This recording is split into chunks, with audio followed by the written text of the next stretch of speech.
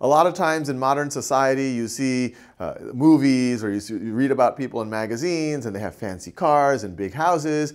And th there's kind of this implication that, hey, maybe those people are, have made it. Maybe that's what I want to be like.